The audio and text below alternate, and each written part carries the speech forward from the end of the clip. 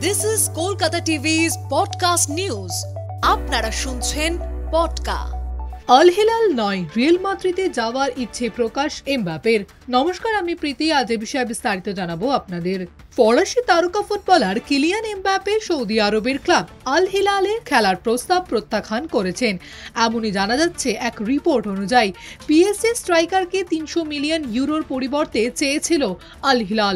তা এত বড় অঙ্কের টাকার পরিবর্তে সৌদি আরবের ক্লাবে যেতে নারাজ এমবাপে। ফ্যাব্রিজিও রোমানোর একটি রিপোর্ট অনুযায়ী আল হিলালের পরিবর্তে স্প্যানিশ ক্লাব রিয়াল মাদ্রিদের সঙ্গে যুক্ত হতে চাইছেন বিশ্বকাপ জয়ী এই তরুণ ফুটবলার।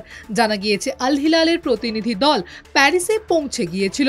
তা সত্ত্বেও কিলিয়ান এমবাপে ওই দলের সঙ্গে বৈঠক বা কোনো আলোচনায় বসেননি।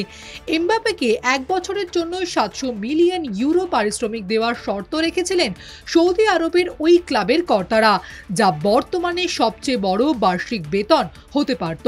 তবে টাকার থেকেও সম্ভবত নিজের ইচ্ছেকেই এগিয়ে রাখতে চান ফ্রান্সের এই তারকা ফুটবলার। তাই আল হেলাল নয়, রিয়েল মাদ্রিদে যেতে চান তিনি।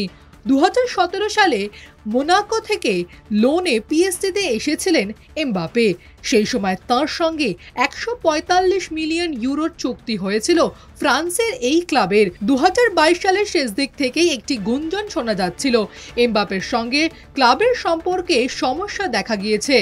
এই তারকা ফুটবলার নিজেই তাই পিএসজি ছাড়তে রাজি হয়েছিলেন। ক্লাবও তাকে বাধা দেয়নি বলে জানা গিয়েছিল।